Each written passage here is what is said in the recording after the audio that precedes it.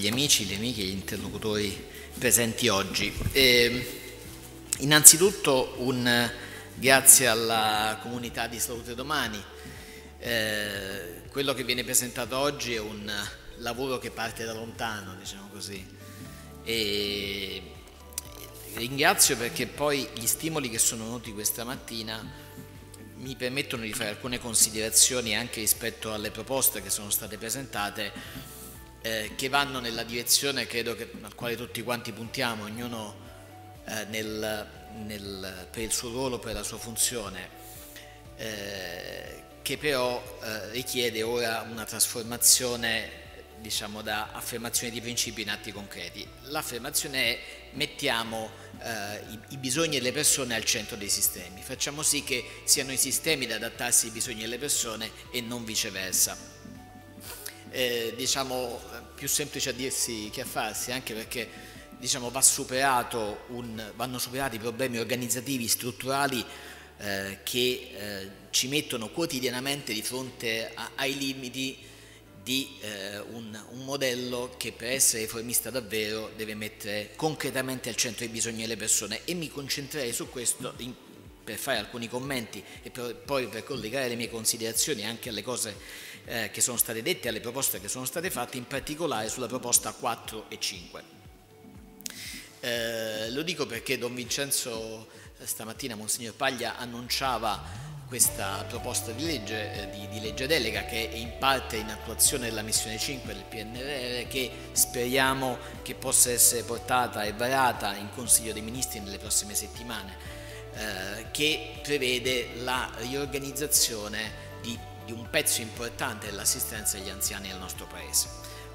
una parte riguarda tutto ciò che è collegato eh, con la non autosufficienza, appunto attuazione della missione 5, ma l'ambizione è anche di fare un, un discorso più ampio, una riflessione più ampia, azioni più ampie che attivino un percorso di gestione e di sostegno a tutte le persone che si trovano in una condizione, eh, nella condizione di, di essere anziani e che hanno bisogno di una serie di servizi. Su questo il tema dell'integrazione tra sociale e sanitario è fondamentale è fondamentale perché in molti casi parliamo di differenze anche dal punto di vista delle risorse enormi.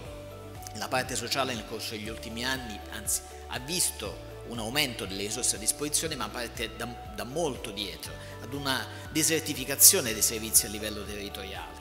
eh, e una difficoltà enorme che viene aumentata e amplificata dalle enormi disuguaglianze che abbiamo nel nostro territorio, che non sono solo disuguaglianze di servizi ma anche disuguaglianze di, di modelli organizzativi che impediscono la relazione, ad esempio in questo caso, strutturalmente tra parte sociale e parte sanitaria. Diciamo, non voglio fare spoiler su quello che poi accadrà nelle prossime settimane, giustamente, ma vorrei fare tre considerazioni che si collegano bene al, al, quarto punto. Cosa abbiamo proposto noi come Ministero della Salute all'interno di, di questo percorso di riforma? Tra le altre cose, tre in particolare. La prima, che all'interno delle case della salute vi sia il punto unico di accesso. Dobbiamo fare in modo che i cittadini abbiano un unico punto di riferimento e non di trovarsi nella condizione al quale siamo stati abituati per troppi anni, che anche l'amministrazione in ottima fede ti dica quando tu chiedi qualcosa, guarda, io posso arrivare fin qui, per quest'altro vai all'altro ufficio. In alcuni casi magari anche a decine di chilometri, immaginiamo le persone che abitano nelle aree interne del nostro paese, circa 12 milioni di cittadini. Ecco, il primo pezzo della rivoluzione sarà che all'interno delle, eh, delle case di comunità ci sarà il punto unico di accesso, che prevederà una valutazione multidimensionale nel senso che le condizioni delle persone sono in evoluzione quindi meritano degli approfondimenti periodici in modo che si possono adattare l'insieme dei servizi ai bisogni di quella singola persona, di quelle singole condizioni. Secondo tema, eh, la necessità di far sì che partendo da questa considerazione ci siano la, eh, dei modelli organizzativi a livello eh, territoriale che prevedano sostanzialmente, ora semplifico, dei distretti sociali che possono dialogare quotidianamente anche dal punto di vista organizzativo con dei, i distretti sanitari e con le aziende sanitarie. Immaginate penso a Giorgio, credo che più o meno la, la, la, tua azienda sanitaria gestisca annualmente circa un miliardo di euro, più o meno, due miliardi, ecco, meglio mi sento. E appunto, immaginate dall'altra parte eh, che deve dialogare quotidianamente magari con l'assessore di un comune che gestisce 20-30 mila euro l'anno di risorse per l'integrazione sociale. Diciamo, ma nella media quando si tratta, ma immagina Frosinone. Ora, ecco, diciamo, il direttore generale di quell'ASL manco lo riceve l'assessore, ma non per mancanza di volontà, perché non c'è manco il tempo di poterlo fare. La nostra idea è di stimolare dei modelli organizzativi che attraverso un percorso di efficientamento delle risorse, fermo restando che la governance rimane nelle mani dei comuni perché ovviamente i comuni conoscono puntualmente i bisogni delle persone e possono favorire un percorso di integrazione, ma attraverso un percorso di, eh, diciamo, di maggiore efficienza e di un modello organizzativo che a livello territoriale abbia una struttura che è capace di cooperare e collaborare con eh, il servizio sanitario, possa realizzare concretamente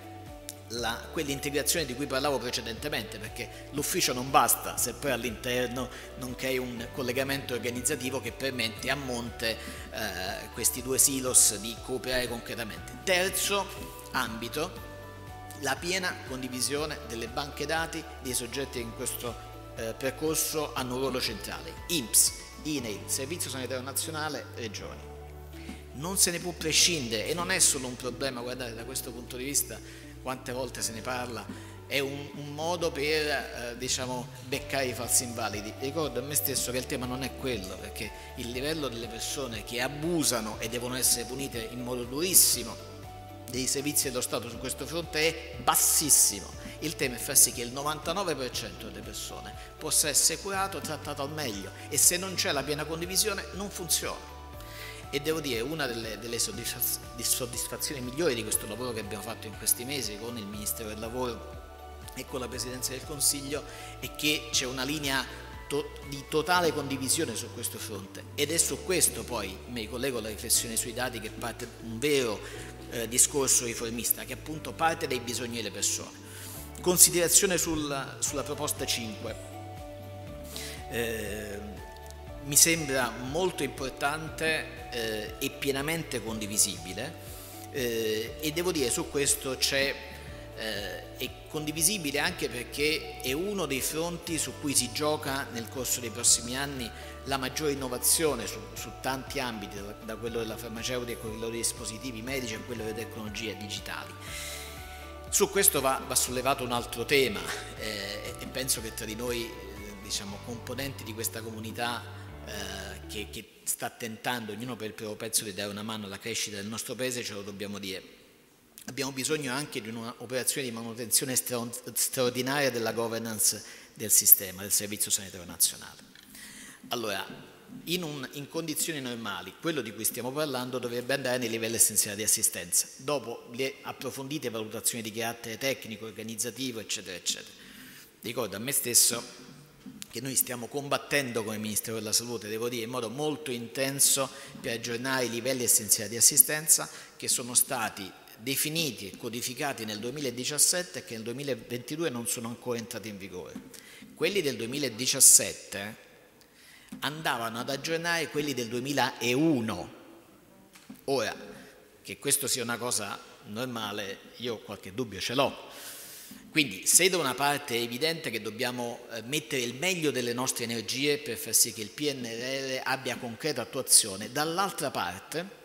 non ci dobbiamo dimenticare che la gestione ordinaria merita un'operazione di manutenzione straordinaria, almeno dobbiamo fissare l'agenda in modo che chi verrà dopo di noi tra un anno con la prossima legislatura abbia un quadro di punti su cui intervenire, perché chiunque dovesse vincere le elezioni con un sistema che non ha una capacità di mantenere un collegamento tra il tempo di decisione e quello di implementazione diventa molto dura anche raggiungere gli obiettivi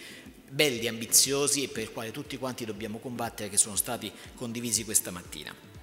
Quindi da parte nostra, da parte del Ministero della Salute, e porto anche il saluto del signor Ministro, c'è la massima disponibilità a far sì che questo sia diciamo, un dialogo continuo perché per implementare le cose di cui ci siamo detti abbiamo bisogno del meglio delle energie del nostro Paese e voi ne siete